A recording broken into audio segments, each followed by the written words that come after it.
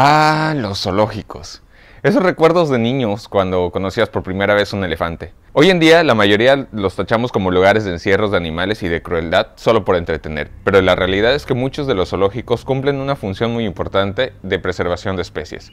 Debo confesar que me costó un poco de trabajo hablar de este tema, pero es necesario mencionar lo bueno y lo malo de estas instituciones. Quédate en este video y acompáñame a descubrir los zoológicos.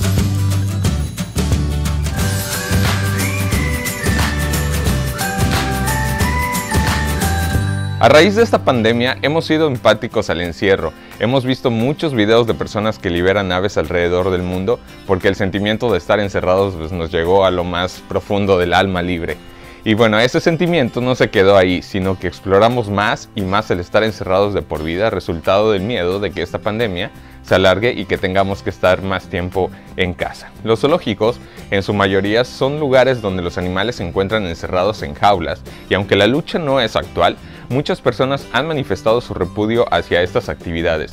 Pero, ¿por qué estos parques son populares y por qué queremos cerrarlos? A lo largo de la historia, estos parques han funcionado como centros de entretenimiento, desde el zoológico más antiguo de América ubicado en el Palacio de Moctezuma hasta los más modernos, todos, todos, todos buscan entretener. Sin embargo, con las constantes manifestaciones de animalistas, el cambio de paradigma de una, de una, necesaria educación ambiental y de preservación de animales en sus hábitats, algunos zoológicos se han transformado para no solo entretener, sino a entrar en labores específicas de preservación de especies y de, también de investigación. ¿Qué son los zoológicos entonces? Los zoológicos son lugares con el propósito de conservar y rescatar animales en nuestro país, según el gobierno de México, pueden ser de dos tipos dependiendo si tienen o no la finalidad de recuperación de animales y para luego reintegrarlos a la vida libre como lo establece la ley.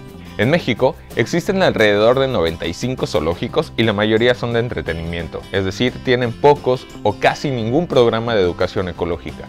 Y de hecho, muy pocos son los especializados en la verdadera preservación de animales. Pero veamos entonces lo bueno y lo malo que tienen los zoológicos. Dentro de lo bueno es que poco a poco los zoológicos de todo el mundo se están transformando y cumpliendo con normativas internacionales para poder cumplir con la verdadera finalidad de estos lugares. El destino de los zoológicos hace unas décadas atrás aún era incierto, por lo que en 1992 la UASA publicó el documento Estrategia Mundial para la Conservación en Zoológicos, donde se proponen políticas a seguir por los zoológicos de todo el mundo, de los cuales deben tener cuatro objetivos fundamentales, educación, conservación o preservación, investigación y recreación. Dentro de la educación, se debe buscar servicios y programas orientados a la educación al público en general, difundir el conocimiento ecológico a través de generaciones con los canales de difusión adecuados.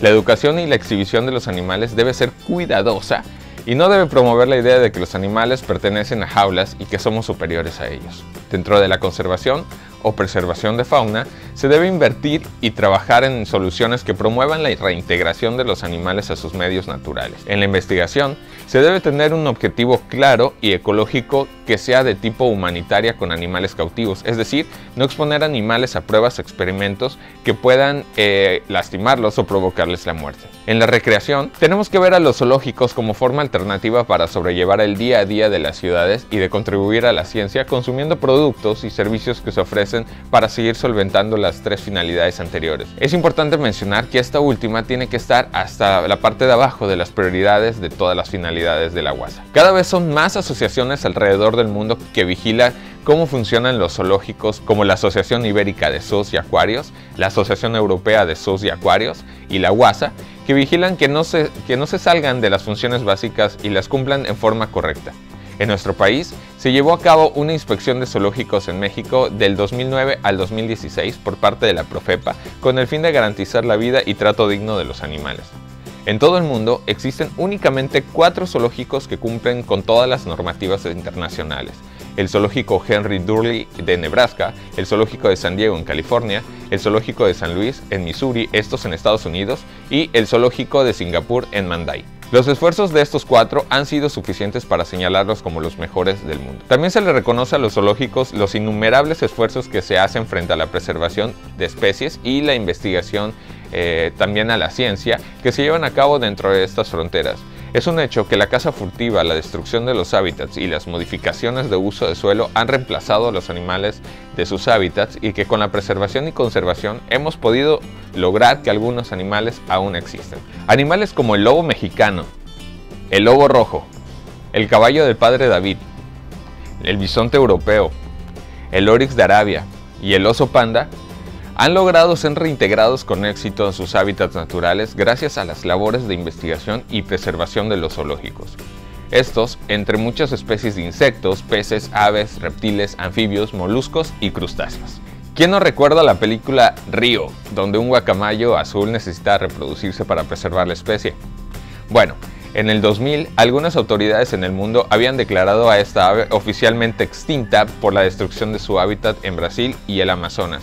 Pero en marzo del 2019, la Asociación de Ornitófilos y Afines de Paraguay informó que nació un nuevo guacamayo en buen estado y con esto la esperanza de la preservación de esta ave. Los koalas en Australia están sufriendo un destino similar. Se prevé que para el 2050 ya no quede ninguno en el territorio australiano, si no fuera por los zoológicos para reintegrarlos a la naturaleza. Por supuesto, tener encerrados animales no es la forma ideal de preservar, pero para eso existen los santuarios, las reservas y corredores biológicos que día a día luchan batallas contra el presupuesto, cazadores furtivos y crecimiento poblacional, así como el cambio climático. La parte fea de los zoológicos se centra en que desde hace varios años atrás los grupos de animalistas han hecho manifestaciones alrededor del mundo para hacer valer sus peticiones de cerrar los zoológicos, mejorar las condiciones de los animales y dejar de extraerlos de la vida silvestre con la finalidad de entretener a las personas. Campañas como la de la organización Anima Naturalis se manifiesta con diferentes frases que nos invitan a reflexionar la situación de los animales en los zoológicos, pero tal vez no analizamos a fondo qué sucedería con los animales que ya se encuentran, han nacido y han vivido siempre en cautiverio y no conocen la vida silvestre. Muchos zoológicos buscan enriquecer y mantener animales en exhibición como una mercancía para atraer visitantes y así llenarse los bolsillos. Muchos animales son intercambiados, vendidos y hasta prestados de un zoológico a otro, estresando a los animales y esto no significa que esté del todo mal si se hiciera con la finalidad de preservar o reproducir especies, ya que incluso muchos animales que hay en los zoológicos alrededor de todo el mundo no están en peligro de extinción o amenazados por ahora. Es un hecho que las condiciones de muchos zoológicos alrededor del mundo se encuentran muy muy mal manteniendo animales con los mínimos necesarios para mantenerlos vivos, limitándose al espacio, al alimento y a la salud, logrando que estén en muchos casos en los huesos y confinados espacios de 2 por 2 metros y esto responde a la falta de presupuesto y a los intereses que no son los que determina la guasa, como el entretenimiento, por ejemplo. Ningún ser vivo debe estar encerrado con el propósito de, entretener. Pero no debemos satanizar las labores de los zoológicos, pues como instituciones tienen labores bien cimentadas para la conservación de especies, educación, investigación y recreación. No debemos exigir el cierre de estos lugares, pues impulsan a la ciencia y al conocimiento ecológico. Lo que sí debemos exigir son mejoras en condiciones de animales, resultados de estudios, implementación del presupuesto y que no sirvan de fuente de dinero para empresas o gobierno que solo financie y que como ciudadanos nosotros debemos vigilar lo que se hace dentro de estas paredes. No basta con solo llevar a los niños a que conozcan a los animales, se trata de ser ciudadanos activos que exijan y estemos de acuerdo con la labor de estas instituciones. Nos toca a nosotros también ser parte de este cambio y vigilantes responsables a dónde llevamos a nuestros hijos y cómo los educamos. Y como dice Edgar Ortiz, egresado de la UNAM, toca a los zoológicos hacer mucho para que estas instituciones no solamente sean lugares de recreación, sino que influyan en nosotros y nos vuelvan protagonistas de las posibles soluciones ambientales junto con ellos, brindando la información de una manera clara y atractiva. Para salvar a las especies no debe bastar con encerrarlas, debemos protegerlos y hacer frente a los problemas ambientales y de destrucción de sus hábitats, como dejar de consumir productos que tengan aceite de palma, por ejemplo, que solo destruyen hectáreas de hogar de los orangutanes de Borneo para la siembra de la palma aceitera en forma de monocultivo. Para más información de este tema dejo en la descripción de este video todas las referencias usadas. Desde aquí, el equipo de Favoplans te invita a que pensemos juntos cuál es la mejor solución para preservar nuestras especies. Deja tus comentarios. Yo soy Favo y estas son mis plantas.